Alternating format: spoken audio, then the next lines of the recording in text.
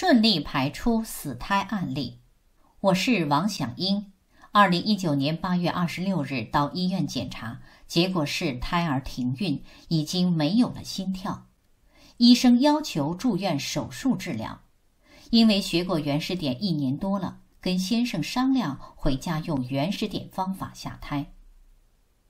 这是医院的检查报告单。回家后，让先生帮助按推整个后背原始点，并全身温敷，肚子热敷和服用浓姜汤、干姜片二两和红参汤一两。第二天下午五点左右，肚子开始痛，腰部和肩椎部位痛得像要裂开一样，赶紧让先生按推相对应原始点。五点二十开始大量流血。按推完，疼痛减轻，开始大量流血。我躺在热垫子上，不断补充生姜汤。这时就一点都不痛了，还躺着跟先生聊天。六点左右去卫生间排出来很大块东西。这是二十七号下午六点钟排出的。晚上八点左右又下来一大块。这期间流血很多，每次去卫生间都会有东西排出来，感觉排得很畅快，没有痛苦。直到晚上十点多钟，流血逐渐减少，第二天还能做简单家务。这是晚上八点多排出的。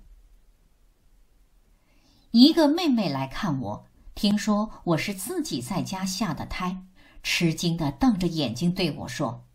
怀孕超过四十五天必须去医院手术的，何况是胎儿停孕了？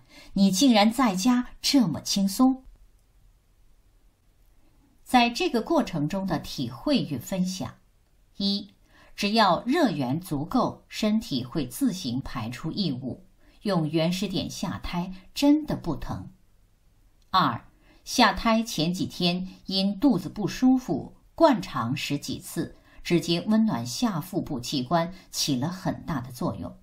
三要对原始点深具信心，过程中流血很多及排出血块，才不会慌乱。胎儿用原始点方法很顺利排出，恢复过程中经常用姜粉泥灌肠。八月三十日又弄下来一块很臭很硬的东西。九月十八日来月经，经血量比以前多，没有任何不适感。八月三十日用姜粉泥灌肠后，又弄下来一块很臭很硬的东西。后期有淋漓不尽现象，我知道热能不足了，先生就用姜粉泥给我按推整个后背和肩椎原始点，做一次大温敷就干净了。现在身体很好感恩张医师感恩原始点。感恩将我引入原始点并指导支持我的季节